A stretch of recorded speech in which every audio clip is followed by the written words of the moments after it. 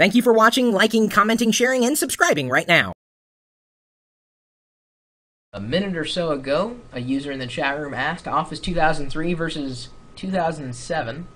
The difference between the two, by and large, beyond version number, happens to be the new interface that Microsoft has developed, commonly known as the ribbon, and that would be a, a series of icons at the top of an Office application that's been updated that replaces the traditional menuing system because uh, the problem with older versions of Office or a lot of applications is that these features, these very powerful uh, um, tools that are in these programs are buried in menus and most people don't see them. Well, Microsoft's idea behind uh, instituting this uh, new user interface and experience was to make it easier for people to discover the features uh, when they actually were, were looking for them. Of course, they've done other things beyond just uh, instituting the ribbon. Uh, but that's the big difference between Office 2003 and 2007, except for the one that sticks out like a sore thumb Outlook 2003 versus Outlook 2007. Outlook 2003 and 2002 sucked. Uh, I, I could never recommend them at all in any capacity. I, I was using Outlook 2000 for years up until they released Out, Outlook 2007 recently, and then I made the upgrade just because the speed differences weren't as bad as they were with uh, 2002 and 2003.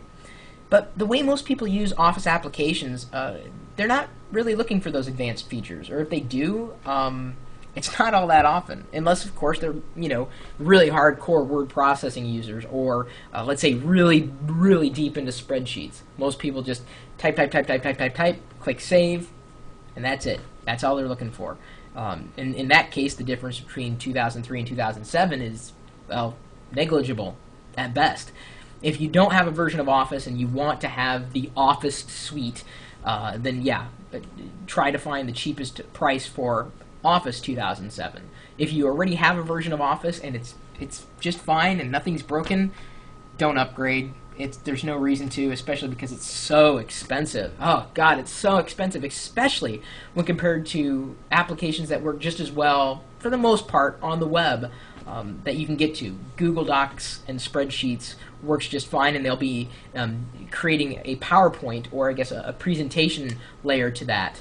Uh, and then, of course, with newer versions of Firefox, Google just released. I think it works with Internet Explorer too. They just announced a tool that will allow you to interface with applications offline.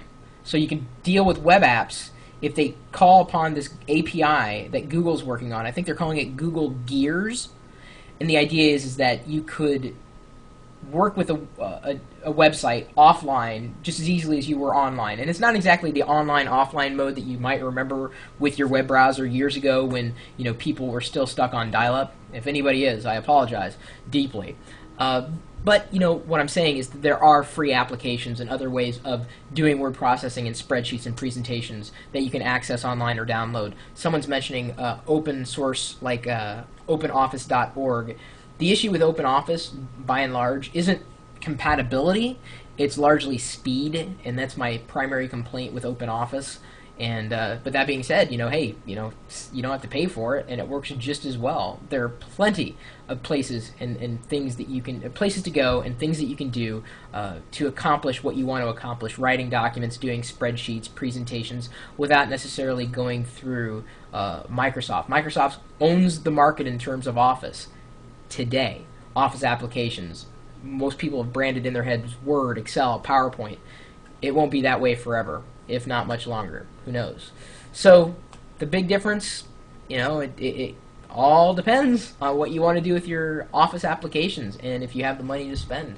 And if you don't, eh, don't don't feel bad. It's it's I don't think the difference between older versions of Office and today's Office are really going to impact a lot of people out there. That's just my opinion.